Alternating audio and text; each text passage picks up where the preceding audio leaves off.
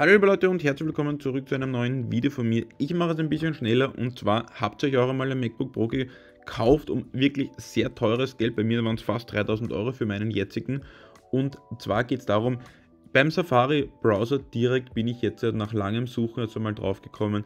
Das Ganze geht nur mit 60 FPS und von Apple direkt wird es aber mit 120 Wiederholrate eben dargestellt. Das ist aber leider Gottes am Anfang sehr gedrosselt, eben runter auf 60. Um das Ganze freizuschalten, das will ich euch natürlich in diesem Video zeigen. Also würde ich sagen, nach dem kurzen Intro, ab geht's und viel Spaß.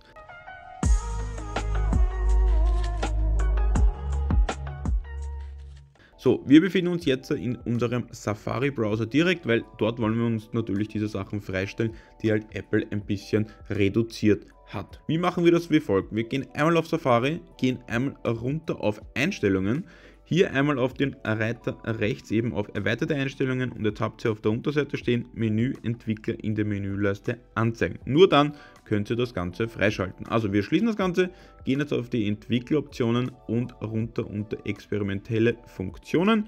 Da haben wir die 60 FPS und um diesen Reiter geht es und deswegen drückt ihr einfach hier das ganze Hakel weg und schon seid ihr automatisch auf die 120, die halt eben Apple von Anfang versprochen hat, aber leider Gottes dann auch nicht durchgeführt hat. Das war es jetzt mit dem ganz kurzen Video. Ich hoffe, ich habe euch bei dieser Kleinigkeit etwas mehr geholfen, habe nicht viel um einen heißen Brei herum geredet. Wenn euch das Video gefallen hat, drückt bitte einmal einen Like-Button, das würde mir helfen. Wenn es euch nicht gefällt, natürlich ein Dislike und vor allem auch bitte, bitte, bitte einen Kommentar darunter verfassen, wenn es euch gefallen hat oder halt eben nicht. Dann würde ich sagen, es war es jetzt mit dem kurzen Video. Ich sage wie immer, danke fürs Vorbeischauen und bis zum nächsten Mal.